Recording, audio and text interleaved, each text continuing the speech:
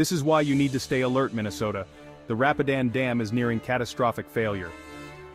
Recent flooding of the Blue Earth River has put the Rapidan Dam in an imminent failure condition, according to officials. The Blue Earth County Sheriff's Office reports that the river has eroded around the dam's sides, leading to dangerous debris accumulation. Governor Tim Walz has highlighted that the state has experienced around 18 inches of rain in the past weeks, further saturating the ground.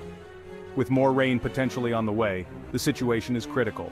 Emergency resources are being deployed to ensure public safety, protect property, and secure infrastructure. Blue Earth County had already initiated steps to release its licensure exemption under the Federal Energy Regulatory Commission due to damage impacting the dam's hydroelectric capabilities. This change would transfer regulatory authority to the Minnesota Department of Natural Resources. Minnesota residents, stay informed and be prepared. This is a developing situation.